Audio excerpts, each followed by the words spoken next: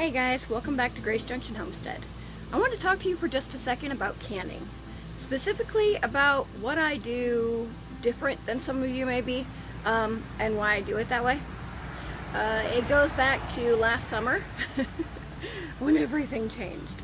Um, I found myself one sunny summer day sitting in my kitchen um, where I had been for about four hours. I had two canners running, pressure canners running, I had, let's see, two, four, four other burners going with sauces and brines and things that I was, you know, getting ready to, uh, to use for canning. And um, every other part of my kitchen literally had towers of bushel baskets full of produce that needed to be processed. And I was overwhelmed that after four hours of working, I hadn't even made a noticeable dent.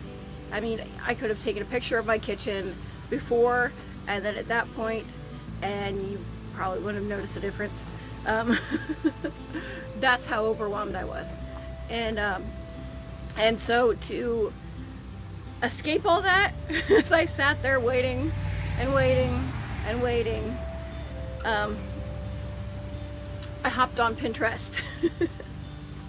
because that's the answer to everything, right? Uh, between that and YouTube, that's that's where I learn everything. Um, and and let me back up for just a second and, and tell you that I don't come from farmers. Um, if I do, it's way back there. We're city people. we don't we don't homestead in my family. We don't do anything. You know, we cook with a microwave. That's that's what I grew up with. Um, everything from a box, from a freezer, from a can, from in the microwave. Um, if it wasn't convenient and easy, we didn't do it. Uh, we, we ate a lot of drive-through food. I'm, I'm like the purple sheep of my family. um, yeah, so I don't have a grandma or a mom or an auntie who can pass down all the knowledge from from generations past on, on how to do things easier, faster. So that day at my wit's end and overwhelmed, I turned to Pinterest. Um, to the next best thing to a grandma, I looked up how do Amish people do it. uh, all the tips and tricks, you know, things that make life easier in the kitchen. Um, and, and I read a lot. I probably spent a couple hours reading those kind of things. But the thing that stuck with me the most, and I mean it is really, really stuck with me, is stop canning like a factory.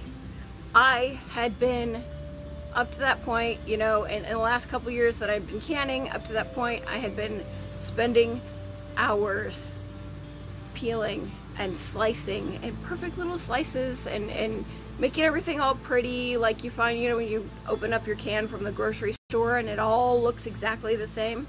You know, it's all cut to the same size and it's all, you know, uniform. Why? Why? It had never occurred to me that that was dumb. it was, okay. For me, it's pointless because, I mean, my time matters to me. How I spend it matters to me and the amount of stress that I put on myself doing something that I generally love matters to me too. and when you've got all this around you that you have to deal with, and or it's going to go bad. You're going to lose all your hard work out there in the garden if you don't hurry up and get it done. I mean, it just, it changed everything. So, so I grabbed a beet and I started just cutting it. You know, I, I rinsed it, you know, scrubbed it like you're supposed to, but I left the skin on and I didn't cut it in pretty little pieces. And then, and then once I got those jars full, I, I did the same thing with the carrots. I left the peels on and I cut them in chunks. Because, I mean, you know, small enough that it would fit well in a jar, but it wasn't uniform and it wasn't pretty. And it didn't matter because when we opened it up a few days later, uh, and tried it, it didn't taste any different. So it, it, it just changed my world. I mean, and, and from then on, I just started going through all the produce just, you know, like that. because it doesn't need to be pretty. It doesn't. It'll still taste the same. It'll still come out the same. Um, I don't do my tomatoes the same either. When I make tomato sauce, oh, I'll tell you what. When I started, I followed the instructions in, in you know, on the YouTube videos and in the canning books and I blanched my tomatoes and I ice bathed them and, and I cored them and I seeded them and I cut them. And I, I have sensitive skin. it does not tolerate processing tomatoes for longer than maybe 20 minutes at a time. Um, and if you sat and done that with a large harvest of tomatoes, you'll know how, how long that takes. But um, yeah, so I oh, I had to go in like rounds because it would just the, the tomato juice would eat my skin off. And I have you know horrible rashes from spending all this time processing all this stuff.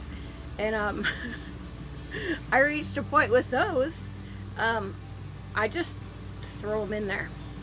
I'll cut them in half or cut them in quarters and I throw them in the pot and I simmer them down into a sauce a chunky sauce um, throw it in the blender chop it all up all nice and fine and then run it through a mesh metal strainer. And I'll tell you what anything you didn't want in your sauce your seeds your skins all that stuff stays in the strainer and it comes out sauce on the other end and you're good. You're done. That's it. You don't have to peel and you don't have to core and you don't have to deseed because there are easier ways Here's a great example. These are peaches. And if you look, look, they've still got their skins on. You know why? Because you can peel them off later.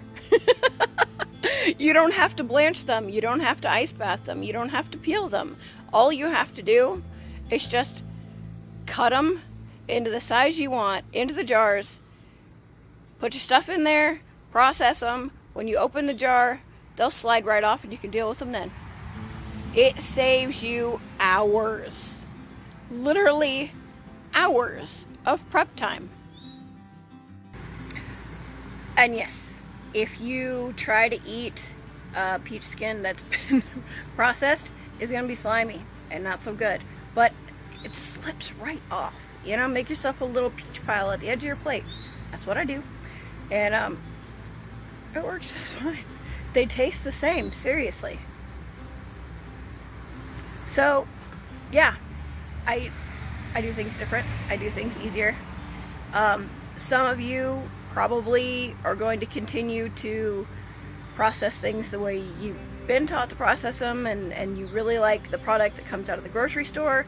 But for those of you who want to save time and save effort and don't care about breaking the rules for something that turns out just as well, stop canning like a factory. Have a blessed day, guys.